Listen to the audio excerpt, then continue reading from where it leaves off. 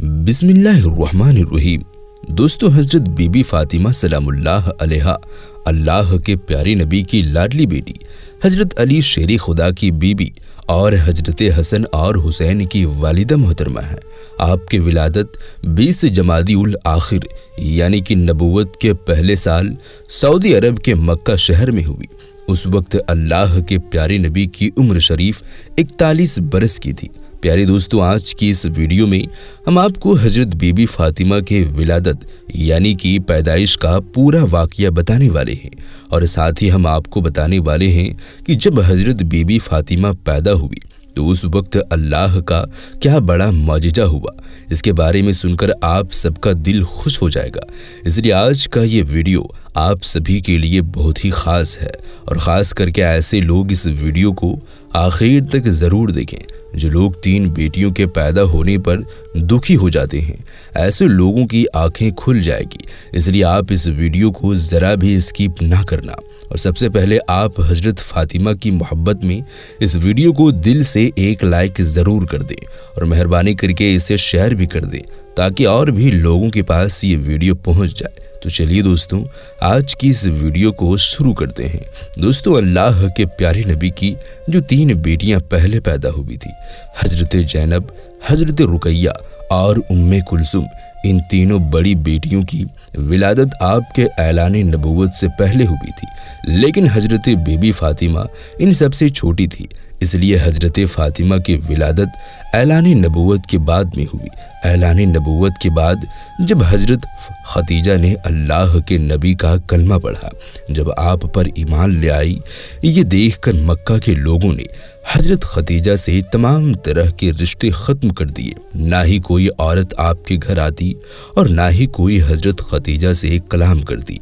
और जिस वक्त हज़रत फ़ातिमा की विलादत का वक्त करीब आया तो जनाब खतीजा ने अपने कुछ रिश्तेदारों को अपने कुछ सहेलियों को बुलावा भेजा ताकि बच्चे की विलादत में वो उनकी मदद करें। लेकिन उन सबने ये कहकर मना कर दिया कि तुमने मोहम्मद अरबी का कलमा पढ़ा है, तुमने उसका साथ दिया है, इसलिए हम में से कोई भी तुम्हारी मदद करने के लिए नहीं आएँगे। ये सूरत हाल देख कर हज़रत खतीजा बहुत मायूस हो गई। आप परेशान रहने लगी। लेकिन जब से बेबी फातिमा हज़रत खतीजा के पेट मुबारक में आई, तब से आपका जी बहलाने के लिए बेबी फातिमा आपसे गुफ्तगु किया करती थी और आपको सब्र करने की तलकीन भी किया करती थी। मगर ये हज़रत खतीजा ने अभी तक अल्लाह के प्यारे नबी को नहीं बताई थी। एक रोज अल्लाह के प्यारे नबी घर में दाखिल हुई। तो आपने देखा कि हज़रत खदीजा उस वक्त किसी से बातों में मशरूफ है। ये देखकर आपने फरमाया ए खतीजा यहाँ तो तुम्हारे सिवा कोई भी दूसरा शख्स मौजूद नहीं है। फिर तुम ये किससे बातें कर रही हो? ये सुनकर हज़रत खतीजा ने कहा, या रसूलुल्लाह वसल्लम, ये जो बच्चा मेरे पेट में है, अक्सर ये मुझसे बातें करता है, जिससे मेरा दिल बहल जाता है। तो ये सुनकर अल्लाह के प्यारे नबी ने इरशाद फरमाया अय खदीजा, अल्लाह ने हज़रत जब्राइल के ज़रिए से मुझे ये खबर दी है, जो हमारे लिए बायस मुसरत है। ये बच्चा जो तुमसे गुफ्तगु करता है, ये तुम्हारी दुख्तर ताहिरा है। अल्लाह पाक हमारी इस बेटी के नस्ल से आईमा पैदा करेगा, जो मेरी नस्ल कहलाएगी। दोस्तों, इस तरह से फिर हज़रत खतीजा अपनी बेटी फातिमा से बातें करती रही और अपना जी बहलाती रही। यहाँ तक कि बेटी फातिमा की विलादत का वक्त करीब आ गया। तो ये देख कर जनाब खतीजा ने अपने कुछ रिश्तेदारों को, अपनी कुछ सहेलियों को बुलावा भेजा ताकि बच्चे के विलादत में वो आकर उनकी मदद करे। लेकिन उन सबने यह कहकर मना कर दिया। कि तुमने मोहम्मद अरबी का कलमा पढ़ा है। इसलिए हम में से कोई भी तुम्हारी मदद करने को नहीं जाएँगे और इस काम में हम तुम्हारी कोई भी मदद नहीं करेंगे। हज़रत खतीजा को इस बात का बड़ा दुख हुआ और आप मायूस हो गई। रिवायतों में आता है कि अभी हज़रत खतीजा इस फ़िक्र में बैठी हुई थी। इस बारे में ही सोच रही थी कि इतने में आपने देखा कि चार औरतें आपके पास आई। आप उन अजनबी औरतों को देखकर कुछ घबरा सी गई। ये देखकर उन औरतों में से एक ने कहा आय खतीजा, घबराने की कोई ज़रूरत नहीं है। हम तो तुम्हारे रब की तरफ़ से इस काम में तुम्हारी मदद करने के लिए आई हैं। ये आशिया बिनते मुजाहिम है। जो जन्नत में तुम्हारी सहेली होगी। ये मरियम बिनते इमरान है। ये हज़रत मूसा की हमसिरा कुलसुम है और मैं सारा जो जाए इब्राहिम हूँ। फिर हज़रत बीबी फातिमा की विलादत हुई। रिवायतों में आता है कि जब बीबी फातिमा पैदा हुई, उस वक्त आपके चेहरे पर इतना ज़्यादा नूर था कि जिसकी चमक मक्का में घर घर तक पहुँच गई। और यही नहीं, बल्कि मशरक से लेकर मगरिब तक। और इस रुए ज़मीन पर ऐसी कोई भी जगह नहीं बची जहाँ जहाँ बीबी फातिमा के नूर की रोशनी ना पहुँची हो। इसके बाद जन्नत से दस हुरे हजरती खदीजा के पास आई। उनमें से हर एक के साथ एक तश्त और एक इब्रीक, यानी एक लोटा था, जिसमें आब कौशर भरा हुआ था। फिर जो औरत हज़रत खदीजा के सामने बैठी हुई थी, उन्होंने वो लोटा लिया और फिर आब कौशर से हज़रत बेबी फातिमा को गुस्ल दिया गया। फिर जन्नत के एक कपड़े से आपको लपेट दिया गया और दूसरा कपड़ा आपके सर पर डाल दिया गया। उसके बाद उन सब होरों ने एक दूसरे को विलादती फातिमा की मुबारकबाद दी फिर अहले आसमान में भी एक दूसरे को मुबारकबाद दी। उसके बाद आसमान पर एक ऐसा नूर ज़ाहिर हुआ कि फरिश्तों ने ऐसा नूर उससे पहले कभी नहीं देखा था। उसके बाद उन चारों औरतों ने हज़रत खतीजा से कहा अः खतीजा लीजिए, आपकी ये बेटी बिल्कुल ताहिरा है, पाक और साफ़ है। अल्लाह इसकी नस्ल में बरकत देगा। दोस्तों रिवायतों में आता है कि हज़रत बीबी फातिमा की विलादत के बाद हज़रत उम्म ऐमन रदी अल्लाह तहा बड़ी तेज़ी के साथ में मक्का के बाज़ार में गुजर रही थी। खुशी से अचानक चेहरा खिला हुआ था कि अचानक से एक खातून जिसका नाम सुलेमा खुजाया था, वो आपके सामने आ गई और तलख लहजे में कहने लगी अह उम्मे ऐमन, तुम इतनी तेज़ी के साथ कहाँ भागी जा रही हो?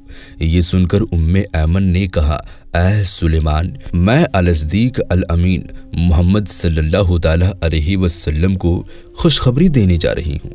उनकी अहलिया हज़रत खतीजा ने चौथी बेटी को जन्म दिया है। तो ये सुनकर मारे औरत के सुलेमा खुजाया का मुँह खुला का खुला ही रह गया। कहने लगी, क्या तुम सच में उन्हें चौथी बेटी होने की खबर देने जा रही हो?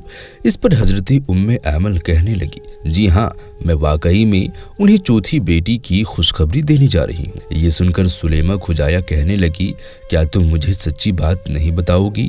उम्म ऐमन कहने लगी कि कौन सी बात तो सुलेमा खुजाया ने कहा कि चौथी बेटी की खबर सुनकर हज़रत मोहम्मद सल्लल्लाहु अलैहि वसल्लम का क्या रद्द अमल होगा? यानी कि उनका मिजाज कैसा होगा? तो ये सुनकर हज़रत उम्म ऐमन को हँसी आ गई और कहने लगी, ऐ सुलेमा, तुम्हारे इस सवाल ने तो मुझे वो दिन याद दिला दिया जब हज़रत खतीजा ने अपनी पहली बेटी हज़रत जैनब को जन्म दिया था तो उस वक्त भी मुझसे कहा गया था कि ये खबर मैं जाकर हज़रत मोहम्मद सल्लल्लाहु अलैहि वसल्लम को सुना जाऊँ। ये सुनकर फिर मैं खौफ हैरान होते हुए आपकी खिदमत में हाजिर हुई। ये सोच रही थी कि इस मायूस बच्ची का मुकद्दर भी और लोगों की बच्चियों की तरह एक गहरे गड्ढे में ज़िंदा दफन हो जाना है। लेकिन ऐ सुलेमान, तुम यकीन करो, उस वक्त मैंने वहाँ पर जो मामला देखा, उसने मुझे वाकई हैरत में डाल दिया। सुलेमा ने पूछा कि उस वक्त क्या हुआ था? तो मैं अमल कहने लगी, ऐ सुलेमा जैसे ही हज़रत मोहम्मद सल्लल्लाहु वसल्लम ने सुना कि उनकी अहलिया ने एक बेटी को जन्म दिया है तो अचानक चेहरा खिल उठा और मारे खुशी की वो दौड़कर अपने घर को पहुँचे और अपनी बेटी को गले से लगा लिया।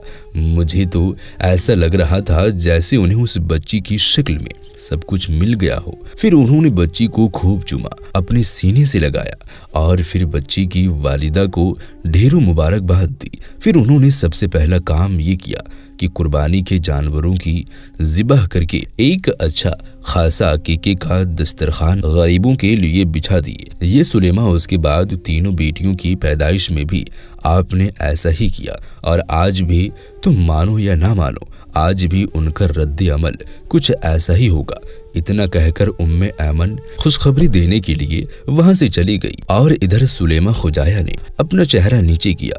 एक गहरी सोच में वो डूब गई। वो सोच रही थी कि उसने भी तीन बेटियों को पैदा किया था, लेकिन उनकी तीनों बेटी को मार दिया गया। लेकिन उनके शौहर को बेटियाँ पसंद नहीं थी, इसलिए वो हमेशा पैदा हुई बेटी को ज़िंदा दफन कर देता है।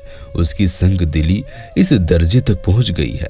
दफन होते हुए जिगर के टुकड़े की रोने चीखने और चिल्लाने की आवाज़ से भी वो नहीं पसीजता है। दोस्तों, ये बात उस वक्त सिर्फ़ सुलेमा खुजाया के साथ ही नहीं थी, बल्कि उस दौर के अरब मुआशरे में ज़्यादातर लोगों का यही हाल था। उस दौर में ज़िंदा लड़कियों को दफन करना एक फ़ैशन सा बना हुआ था, और कब्र के गड्ढों को ही लड़कियों का ससुराल समझा जाता था।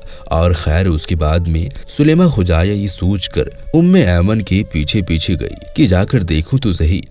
कि चौथी बेटी की खबर सुनकर मोहम्मद अरबी का क्या रद्द अमल होता है। लेकिन फिर सुलेमा खुजाया ने वहाँ पर जाकर जो देखा, उसको देखकर वो हैरान हो गई। उसने देखा कि अल्लाह के प्यारी नबी का चेहरा खिला हुआ है और आप अपनी बेटी फातिमा को गोद में लेकर चूम रहे हो, उनको सूंघ रहे हो। ये देखकर सुलेमा खुजाया फ़ौरन ही आपके कदमों में जाकर गिरी और कहने लगी कि आप ही का दिन सच्चा है? आप मुझे भी कलमा पढ़ा लीजिए। उसके बाद सुलेमा खुजाया ने कलमा पढ़कर वहीं के वहीं मुसलमान हो गई। सुबह अल्लाह तो दोस्तों, आज की इस वीडियो में था बस इतना ही। हम मिलते हैं फिर किसी नई वीडियो के साथ। तब तक के लिए आप अपना और अपनों का बहुत ज़्यादा ख्याल रखें। अल्लाह हाफिज़।